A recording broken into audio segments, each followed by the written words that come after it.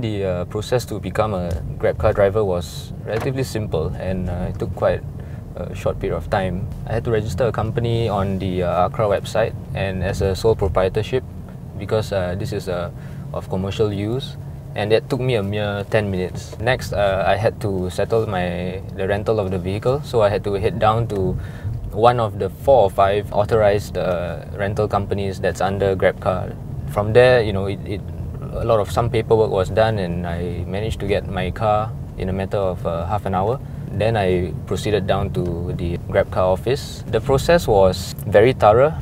You have to go through a series of training. So you have the app training where they will run through the app with you for the app specifically for drivers. There they give you tips and, and, and, and a guide, a, comprehensive guide on how to navigate through the app. You, you get a briefing on the code of conduct GrabCar has written up and from there they, they would give us some anecdotes and uh, some tips on, on how to be a good service provider. It took about two hours including the paperwork that was done. From there you are a certified GrabCar driver.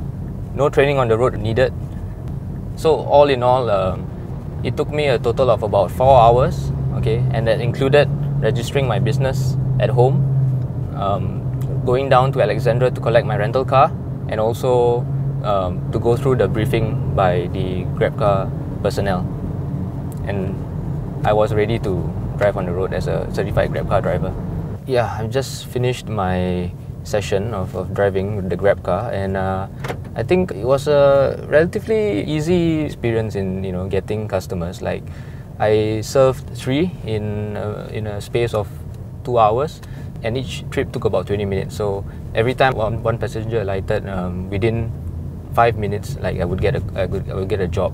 So um, the demand is there, it seems, and uh, I spoke to some of them and asked them if they were repeat customers and why they actually liked it and the main reason I think that uh, they prefer Grab cars or you know private sharing apps over conventional taxis is because the predictability is there. The price that's given on uh, on Grab car, it's the flat rate that they are supposed to pay regardless of how long it takes for them to reach their destination. Yeah, I think that it, this is definitely a service that you know people do like, you know, and uh, are using it